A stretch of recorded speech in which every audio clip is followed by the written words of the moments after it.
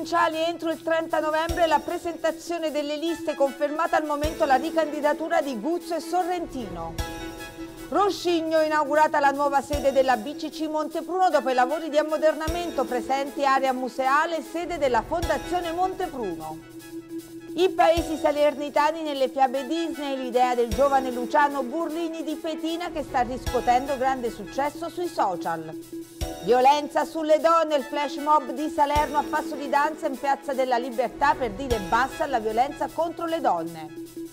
Sala Consilina, affidata alla gestione delle oltre 380 piante di ulivo presenti sul territorio, sarà un'azienda di grumento nova ad occuparsi delle piante.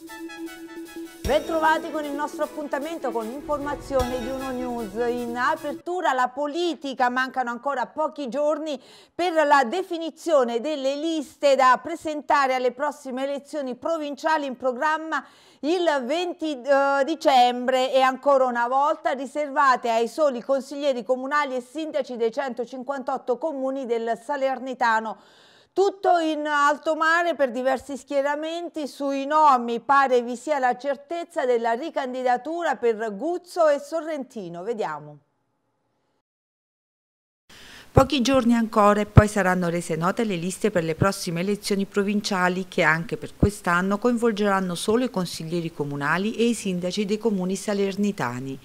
I 158 consigli comunali del Salernitano saranno dunque chiamati alle urne il prossimo 20 dicembre, quando dovranno recarsi presso la sede della provincia di Salerno per eleggere i componenti il Consiglio. Potrebbe trattarsi dell'ultima tornata elettorale in cui i cittadini sono esclusi dalla scelta dei delegati in Consiglio provinciale, dato che il governo Meloni sta lavorando alla riforma della legge del Rio, che da ogni parte, indipendentemente dal colore politico, ha trovato serie contrapposizioni, ritenendola una riforma capace solo di svuotare la provincia di risorse, lasciando le competenze e le responsabilità. Una riforma che, come sottolineato anche da alcuni esponenti politici non disposti alla candidatura, riserva agli eletti un mero incarico di rappresentanza che per chi ricopre il ruolo di sindaco toglie tempo alle comunità guidate.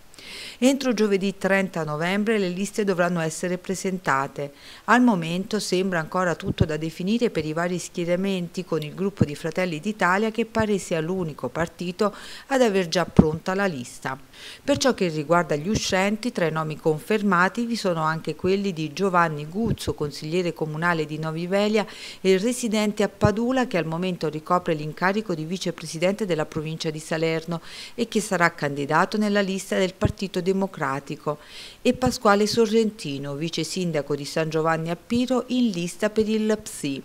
Quest'ultimo partito dovrà fare i conti con la decisione di Alessandro Chiola, sindaco di Montecorvino Pugliano, che ha deciso di non ricandidarsi per via proprio della legge del Rio che ha svuotato le province creando quindi un buco istituzionale.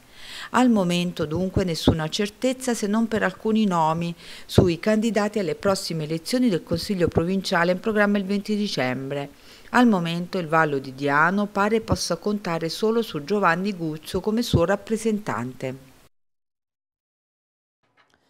La cronaca, sabato scorso 25 novembre i carabinieri della compagnia di Amalfi hanno dato seguito ad un'ordinanza emessa dal GIP del Tribunale di Salerno su richiesta della locale procura di custodia cautelare nei confronti di due uomini di cui uno in carcere e per l'altro invece scattata la misura degli arresti domiciliari per il reato di furto aggravato in concorso. I due si sarebbero resi responsabili dei furti di biciclette elettriche che sono avvenuti nei comuni di Atrani, Amalfi, Conca dei Marini nell'agosto scorso. E ancora cronaca, ci spostiamo a Capaccio Pestum dove lo scorso venerdì 24 novembre i carabinieri della locale stazione unitamente ai militari del nucleo operativo e radiomobile della compagnia di Agropoli hanno tratto in arresto in flagranza di reato per spendita ed introduzione di eh, monete false tre persone di cui un italiano e due di origini straniere. Uno dei tre peraltro eh, è stato anche eh, accusato di resistenza e lesioni personali a pubblico ufficiale. I soggetti arrestati a seguito perquisizione personale e veicolare sono stati trovati in possesso di banconote false di vario taglio per un totale di 14.500 euro. Cambiamo ora argomento, andiamo negli Alburni, precisamente a Roscigno, dove sabato scorso, 25 novembre, è stata completata la fase di rinnovamento delle sedi della BCC Montepruno, ultima sede ad essere stata oggetto di ammodernamento, la sede da cui tutto è partito, ossia proprio quella di Roscigno, una sede storica e che da sabato scorso ospita anche la storia con un'area museale allestita all'interno dell'edificio. Vediamo. In un piano generale di rinnovamento delle diverse filiali della BCC Montepruno, sabato scorso è toccata alla storica sede legale di aprire le sue porte al futuro dopo i lavori di ristrutturazione che hanno interessato i diversi uffici, l'ingresso, le casse. Un rinnovamento non solo estetico ma anche nella sua azione che attraverso proprio l'organizzazione degli spazi crea una fusione tra passato e futuro mantenendo le radici ben saldi in quelli che sono stati da sempre i valori che hanno guidato l'attività di tutti i collaboratori della BCC Montepruno su insegnamento del direttore generale Michele Albanese, ossia l'ascolto e la vicinanza al territorio. La storia è raccontata nella mostra espositiva dove è possibile anche trovare pezzi rarissimi del mondo bancario accuratamente conservati dall'Istituto di Credito e ora in esposizione nello spazio dove sono anche presenti le casse. L'attesa dunque dei clienti prima di poter svolgere le proprie operazioni passa dalla storia storia per imprimere nella mente di tutti il sacrificio e la lungimiranza di chi ha portato a Roscigno la cassa rurale d'artigiana al servizio delle persone. È veramente un grande piacere e un orgoglio per noi poter inaugurare questi nuovi locali della sede storica della Banca Montepruno. È una sede che ci ricorda tante cose, queste immagini ci portano dietro nel tempo, ma sicuramente ci proiettano nel, in un futuro. Qualcuno ha scritto che partiamo dal passato per arrivare al futuro, forse questo è vero. E siamo veramente fieri e orgogliosi di aver realizzato quest'opera, grazie ai nostri tecnici, eh, Orlacchio e Iannicelli, che hanno voluto diciamo, con forza e con capacità eh, esprimere tutta la loro professionalità. Veramente eh, siamo soddisfatti di, di questo ottimo lavoro. È un valore che abbiamo voluto aggiungere a quello che erano già i tanti tasselli della nostra banca, un valore della riconoscenza, un valore delle, delle origini. Tutto nasce di qui, è di qui che vogliamo tornare, di qui che vogliamo iniziare. Dal passato al futuro, al piano superiore, infatti sono stati allestiti gli uffici della Fondazione Montepruno che, seguendo il percorso tracciato dalla Cassa Rurale d'Artigiana di Roscigno, viste le nuove norme che regolano il credito cooperativo, avrà l'importante compito di proseguire nel futuro il cammino intrapreso nel passato come organo di supporto sociale alle comunità.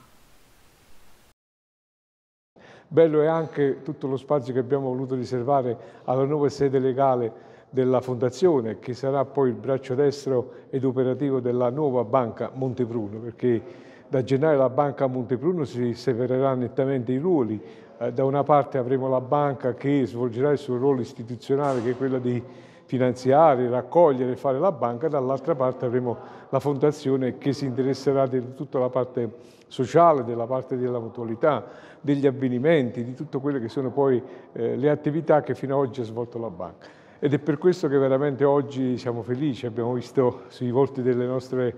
eh, nostre persone, gli amici, ma i dipendenti stessi che lavorano con grande soddisfazione in questo ambiente così bello. E perché no? Perché non ricordare i, i, 30, eh, i 30 coraggiosi che vogliono realizzare questa opera? Io credo che se ci guardano da lassù sicuramente saranno fieri e orgogliosi di noi, così come lo è l'allora Presidente Michele Albanese, che diciamo, ha dato la prima spinta, ha voluto questa sede istituzionale quando nessuno ci pensava, quando nessuno aveva il coraggio di osare. Lui ha avuto questa capacità e oggi ci ritroviamo a ristrutturarla, ci ritroviamo a demodernizzarla e quindi in un ambiente moderno sicuramente esprimeremo il meglio di noi stessi. Nella serata di sabato 25 novembre dunque un nuovo appuntamento che ha regalato tantissime emozioni e ricordi in una cerimonia che ha restituito ai clienti della Banca Montepruno una sede più accogliente dove è presente la nuova area storica, la nostra storia, le nostre radici. La cerimonia, a cui hanno preso parte tantissime persone, si è aperta con il taglio del nastro e la benedizione dei nuovi spazi da parte del parroco di Roscigno, Don Andrea Pedilli. A seguire le parole della Presidente Anna Miscia del direttore generale Michele Albanese. Ad inaugurare la nuova sede della BCC Montepruno non potevano mancare, oltre al direttore generale Michele Albanese, anche la presidente del Consiglio d'amministrazione Anna Miscia e il vice direttore generale della BCC Montepruno Conno Federico che mettono in evidenza l'importanza di conoscere la storia e le proprie radici per costruire il futuro. Ascoltiamoli. Questo è stato l'inizio del rilancio della banca. Senza questa sede non ci sarebbe stato il rilancio. È una, una, qualcosa che è stato fortemente voluto sia dagli ex presidenti che dall'attuale direttore. Quindi dopo tanto tempo eh, lui ha sentito il bisogno di ristrutturare questo edificio che, ripeto, rappresenta veramente la storia della banca, il punto di inizio e questo è un punto di rilancio ulteriore per quello che sarà il futuro della Montebruno. Conoscendo il direttore, futuro presidente della fondazione, sapendo quali sono eh, diciamo, i suoi obiettivi, oggi come oggi lui già ha fatto presente che intende rilanciare questi paesi perché purtroppo lo spopolamento è un qualche cosa che li sta veramente distruggendo, ma nello stesso tempo, non essendoci attività, questi giovani se ne vanno, qui restano a fare che? E quindi ci vuole qualcuno che incomincia a dare lo stimolo ad iniziative nuove che consentano quindi di eh, creare posti di lavoro e di rilanciare questi territori. Sì, non c'è futuro se non c'è memoria. Questa è una frase che si dice spesso, ma è effettivamente così. E oggi appunto questo vuole essere un ponte, o meglio vuole essere un trampolino di lancio per l'ulteriore futuro che aspetta la Banca Montepruno verso nuovi traguardi. Era corretto ricordare appunto quando è nata questa banca, quindi con una sorta di quasi di museo con delle fotografie, dei testi che rievocano chi l'ha fondata, tutte le varie tappe di questi primi 60 anni e quindi rilasciare anche appunto a Roscini al territorio d'origine qualcosa di nuovo che proietti la Montepuro nel futuro. La banca è assolutamente solida, oggi siamo appunto in un gruppo che ci permette di poter operare in maniera ancora più ampia e diversificata rispetto a prima, ma la Montepruno è e resta una banca locale attenta al territorio e quindi anche l'inaugurazione di questi nuovi locali qui a Roscigno testimonia proprio l'interesse anche per le aree interne e quindi non solo per le città. Noi vogliamo essere la Montepruno ovunque e quindi anche per ringraziare i clienti e i soci che ci onorano della loro presenza. Il giovane Luciano eh, Burlini sta riscuotendo grande successo sui social per la sua simpatica iniziativa che racconta i comuni del Salernitano con i colori e le forme dei cartoni della Disney, un'iniziativa che riempie di colore e fascino i paesi del Salernitano a cui, eh, a cui si sta dedicando anche attraverso uno studio dei diversi centri. Abbiamo raggiunto il giovane Luciano Burlini, laureato in, in archeologia, che però ha scelto di continuare a vivere nella sua terra e attraverso i colori e il fascino della Disney ne racconta le bellezze e le unicità. Ma ascoltiamo dalle parole dell'autore dei disegni e delle opere da dove ha preso l'idea idea e come realizza i disegni.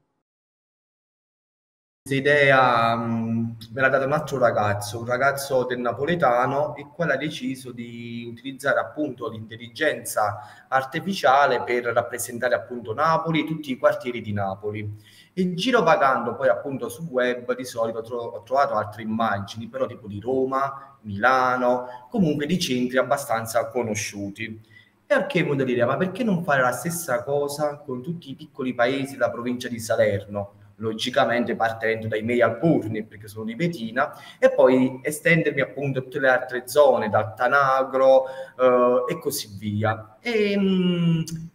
ho cercato appunto questa intelligenza artificiale utilizzando precisamente Microsoft e da lì poi c'è un, sec- c'è un secondo lavoro, ovvero uh, l'intelligenza artificiale ti crea ciò che vuoi, mettendo appunto, uh, scrivendo appunto delle informazioni, ad esempio uh, un paese su una montagna con un fiume, tu più descrizioni, più dettagli dai e più l'intelligenza artificiale ti crea il modello. Il problema è per quanto riguarda il nome del paese, soprattutto um, se sono paesi con... Uh,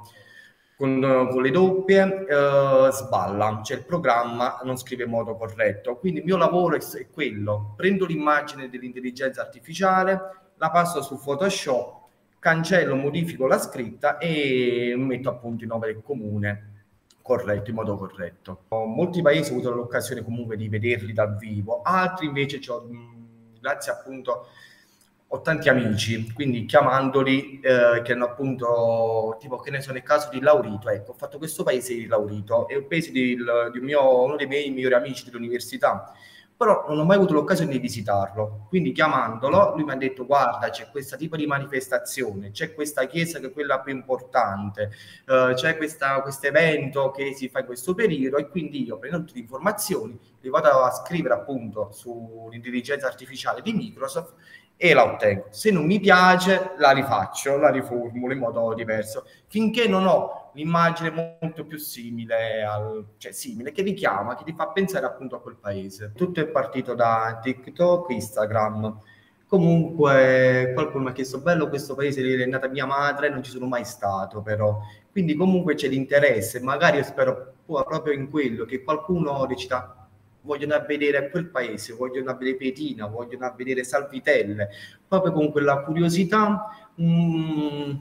di portare un, un po' di gente, un po' di conoscenza, i nostri piccoli centri che sono belli, sotto, molto sottovalutati, ma sono belli.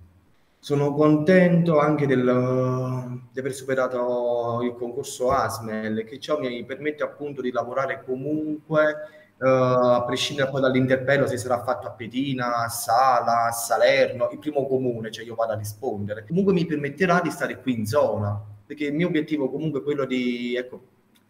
cerco di contribuire a portare gente, a far conoscere i luoghi, infatti anche su Instagram cerco di fotografare monumenti, monumenti dalle cose appunto da un, da un monumento, da un rudere alla montagna, proprio perché ci può essere qualcuno che guarda quella fotografia, guarda quel video, si incuriosisca e decide di andare appunto in quel luogo. Ci fermiamo ora per qualche minuto di pubblicità, tra poco.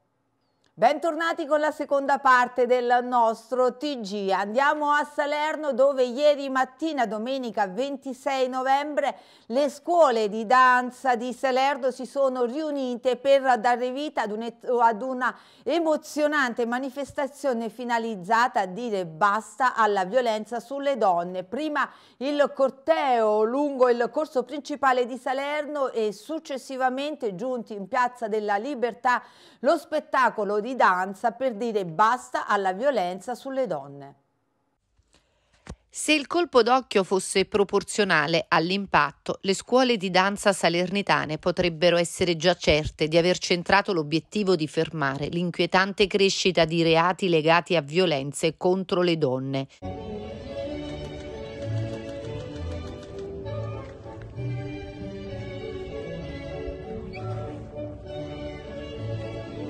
Il giorno dopo il 25 novembre, Piazza della Libertà si è colorata di rosso e nero ieri mattina con il corpo e le scarpette di 150 ballerini. Il corteo con lo striscione, dillo con la danza, libere tutte, ha attraversato Corso Vittorio Emanuele per raggiungere il nuovo centro della città. Il flash mob sulle note della musica al termine del lungomare nella Piazza della Libertà è stato promosso nell'ambito delle iniziative che hanno messo insieme la prefettura di di Salerno e l'assessorato alle politiche sociali del comune, oltre naturalmente alle scuole di danza delle maestre Federica Ferri, Loredana Mutalipassi e Valeria Milingi. Siamo qui il 26 novembre, il giorno dopo la giornata internazionale che grida no alla violenza contro le donne, ha fatto notare Paola De Roberto, assessore alle politiche sociali del comune di Salerno, proprio per dire che le iniziative e l'impegno di tutti per formare la violenza contro le donne donne deve durare tutto l'anno e non deve bloccarsi al 25 novembre. Intanto prosegue presso la prefettura di Salerno la mostra fotografica Ferità a cura di Valentina Gaudiosi dedicata alle donne vittime di tratta che sarà aperta al pubblico per tutta la settimana. Previsto anche un concorso creativo nelle scuole libere tutte contro ogni violenza per sensibilizzare i più giovani su questo delicato argomento.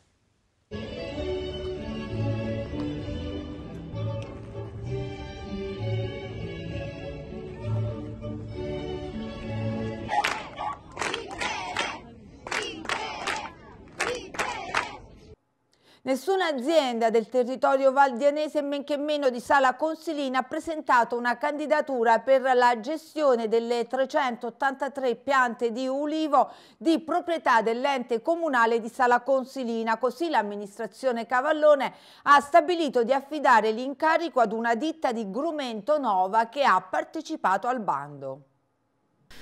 Sarà una sola azienda agricola a gestire le piante d'ulivo presenti a Sala Consilina e quanto decretato dalla Giunta Comunale Salese che nei giorni scorsi ha deliberato per l'assegnazione della gestione delle piante d'ulivo presenti su tutto il territorio comunale all'azienda agricola Fornino Rosa di Grumento Nova, unica azienda ad aver partecipato al bando e che pertanto si occuperà della raccolta e della gestione delle 383 piante di proprietà del comune, di cui 320 124 nella villa comunale, 7 nel parcheggio della Guardia Medica, 5 nell'area del Palazzingaro, 35 nel parcheggio Cravatta, 2 in via Giocatori, 5 nel parcheggio posto fra via Pozzillo e via Mezzacapo, 5 nell'area dell'Auditorium Cappuccini. Inizialmente suddivisi in più lotti, nessun'altra azienda e soprattutto nessuna azienda o associazione o impresa di Sala Consilino del Vallo di Diano ha voluto partecipare al bando per la raccolta delle olive presenti sulle piante, oltre che per la gestione delle piante stesse un bando che avrà durata di un anno e che affida l'incarico all'azienda che si occuperà anche della molitura delle olive restituendone il 25% al comune di Sala Consilina. L'olio che entrerà nella disposizione del comune salese sarà destinato in via prioritaria alle famiglie bisognose del territorio che come riportato nella delibera saranno individuate con apposito avviso pubblico. La decisione di provvedere con il bando per la gestione e la cura delle piante, come avviene da alcuni anni, è dovuta essenzialmente, come precisato nel corso della delibera, all'impossibilità per l'ente di poter usufruire di adeguata manodopera per il lavoro che richiedono le piante, che peraltro, vista la mancata assegnazione della gestione e della cura negli anni passati a privati, al momento necessitano di immediata manutenzione e ancor più di provvedere alla raccolta delle olive. Ci spostiamo ora a Sanza, grande successo ieri sera per Ulderico, Ulderico Pesce con lo spettacolo I Sandali di Elisa Claps, una serata speciale promossa dalla Consulta delle Donne di Sanza e dall'assessorato alle politiche sociali del Comune in occasione della giornata internazionale contro la violenza sulle donne. Successo ieri sera nella sala conferenze del CEA a Sanza per lo spettacolo I sandali di Elisa Claps di e con Ulderico Pesce, una serata speciale promossa dalla Consulta delle Donne di Sanza e dall'assessorato alle politiche sociali del comune per onorare la giornata internazionale per l'eliminazione della violenza sulle donne. La performance con Pierangelo Camodea e Samantha Franchino ha suscitato un turbinio di sensazioni che ha travolto il pubblico in sala, parole di grande apprezzamento da parte parte del sindaco Vittorio Esposito che ha affermato è necessario trovare la forza per reagire culturalmente e superare stereotipi, retaggi culturali e debolezze che hanno alimentato e alimentano l'aberrante fenomeno della violenza sulle donne. Un modo diverso per dire noi tutti ad alta voce ora basta, ha sottolineato la presidente della consulta Concetta Grimaldi, non è più tollerabile nessuna forma di violenza, nessuna prevaricazione. La vicenda della povera Elisa e il silenzio silenzio calato per ben 17 anni sulla sua scomparsa sono l'esempio di come quando la società non chiede verità non vuole vedere i drammi e le tragedie si possono consumare dinanzi ai nostri occhi, eppure noi non vediamo o fingiamo di non vedere, ha aggiunto la Presidente Grimaldi. La PS è stata scritta da Ulderico Pesce con la collaborazione della signora Filomena, madre di Elisa, e di Gildo, fratello di Elisa. La tragica storia di Elisa, la ragazza di 16 anni che viene barbaramente uccisa nel sottotetto della chiesa della Trinità di Potenza, dove rimane scandalosamente nascosta per 17 lunghi anni. La mano omicida, hanno concluso gli inquirenti, fu quella di uno spasimante respinto d'Elisa, Danilo Restivo, che oggi ha 51 anni, condannato con sentenza irrevocabile a 30 anni di reclusione. L'uomo sta scontando la pena in Inghilterra, dove è stato condannato per un altro delitto, quello di Ether Barnett, una sarta inglese uccisa il 12 novembre 2002 a Charminster, nel Dorset. Lo spettacolo ha visto la presenza anche di due opere pittoriche di grande spessore artistico, opera del pittore Calogero Franco, che hanno accompagnato la scena. Ed era questo l'ultimo servizio di oggi, io vi ringrazio per averci seguito e vi auguro un buon proseguimento con i nostri programmi.